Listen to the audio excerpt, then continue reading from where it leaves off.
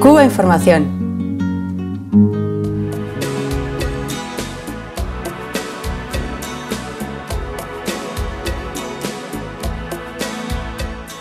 Ellas no temen es el título de una interesante, bella exposición que acabamos de ver en Bilbao, una exposición que ha estado en varias ciudades, en Sevilla, en Bilbao también ha pasado por Cataluña, una exposición del artista visual eh, cubano Raúl Escobar Delgado, con quien conversamos en nuestro estudio de Cuba Información y a quien nos gustaría preguntar ¿Qué es esta exposición?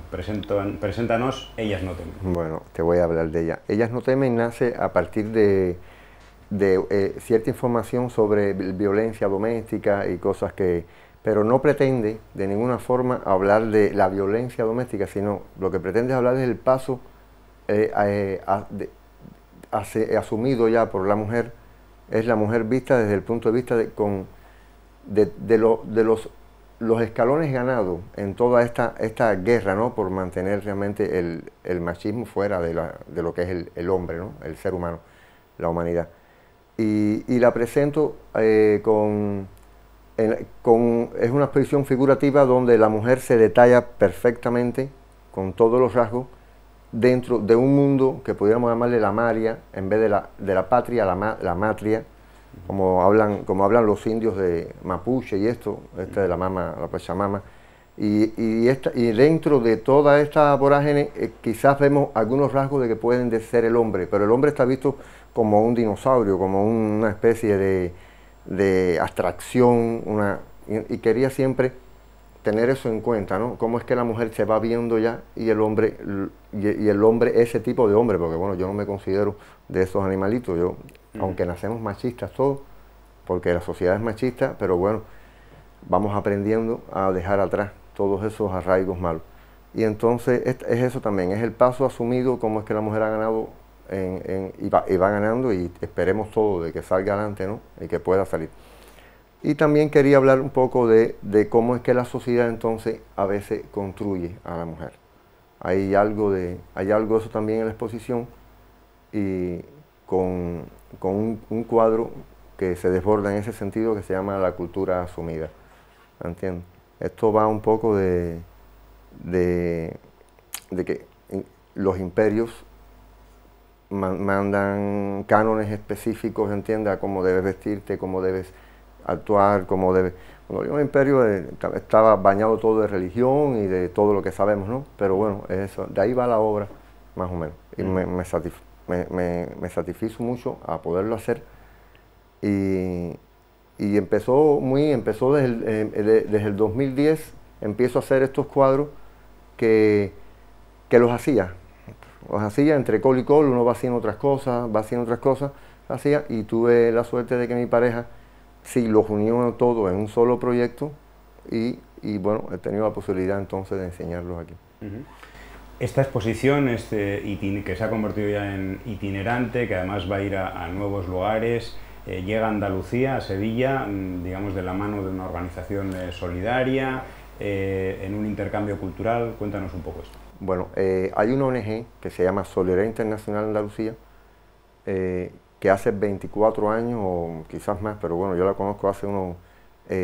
hace trabajo de cooperación con Guanabacoa, que es el lugar donde vivo yo en La Habana, que pertenece a Ciudad Habana, pero bueno, tiene aires de campo, es otra cosa. No sé si has conocido, Guanabacoa.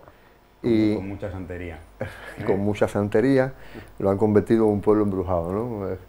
Pero bueno, eh, eh, esta ONG que trabaja aquí hace, en estos momentos hace un, trabajo de intercambio cultural. Ellos llevan artistas, te digo que ahí ha estado dando conferencias hasta Cristina Hoyo, ¿no? Eh, esta, bailarina andaluza.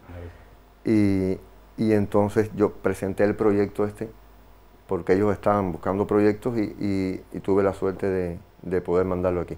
Se expuso en, en, la sede de Solidaridad Internacional, en, el Sevilla, en Sevilla y, después tuve la oportunidad de pasarla, gracias a amistades, para que se moviera. Pues, y así la, pusimos en Creixell, en Tarragona, y ahora estamos en Bilbao, que que creo que de aquí ya, bueno, vamos a parar porque estoy hasta cansado.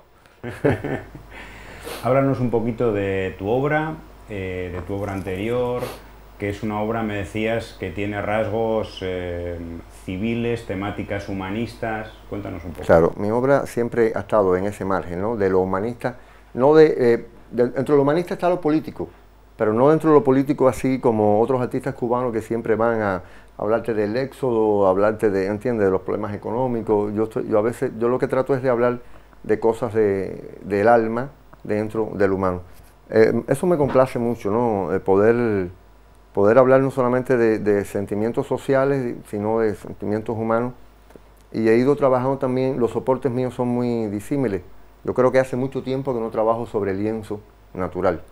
Porque esto, si te fijaste en esta exposición, es en yute, con mucho, mucha materia, y, me complace, pero también he trabajado mucho sobre cartones manufacturados, hechos con hojas del patio de mi casa, y pintado con tierra y carbón y, me encantaría que vieras esas cosas, voy a, voy a, voy a hacer que lleguen a ti. Eh, no sé, y creo que me divorcié del lienzo por el problema de, todo aquello que se impone ¿no? para que sea consumible. Eh, la primera vez que yo salgo del extranjero, eh, yo vine aquí a exponer a, España. Y yo no iba a venir a bailar a casa del trompo, a traer estas telas preparadas, porque es que yo dije, no, es que así no, así no, no da la así, así no van a saber quién soy yo, ¿no? Y entonces, hoy por hoy existen muchos cánones que si no pintas con pintura de tal marca, no voy a decir las marcas, o de tal marca, o si el lienzo no es preparado de fábrica, entonces no viene un marchante y, no te compran obra, ¿no? Por eso yo dije, voy, a dejar todo eso atrás porque al final decir es la mejor forma de, ¿entiendes?, de, para un artista y no voy a estar cayendo en, en las trampas que te impone el imperio en ese sentido. Y digo el imperio porque es así, no es un problema de mercado. Cuando hablamos de mercado hablamos de eso, no podemos hablar de otra forma. Antes de que llegue el ferry es, una, ah. es el título de una película que veremos, mm, espero que dentro de no mucho, en la que tú has tenido una participación, bueno, tanta participación que eres uno de los codirectores de esta película. Háblanos un poco de ella. Bueno, te hablo que eh, yo em, vamos un poquito más atrás. Yo empiezo en el, en el audiovisual porque conozco un grupo de jóvenes artistas cubanos, eh, todos graduados de LISA, que están haciendo eh, arte con los nuevos medios, ¿no? Ya tenemos al alcance de la computadora, con una cámara puedes filmar, edita, y podía, y podía estar en galería eh, obras que muy, mucho más interesantes a veces que, cuadros en, en la pared. En la pintura es muy difícil decir cosas ya, porque estamos viviendo del siglo XXI. Pero siempre los videoartes que, que he hecho han tenido mucho de cine y siempre terminaban, no, pero es que eso, eso, es muy, eso tiene mucho guion, eso, eso, eso y, me costaba. Y así mismo, bueno, empecé a hacer mis, primeros videos amateur, hice un mediometraje amateur así, y después tuve la dicha de conocer a, a un asturiano y a un, y a un artista de, del audiovisual cubano que se llama Vladimir García, el cubano, y Juan Caunedo, el asturiano.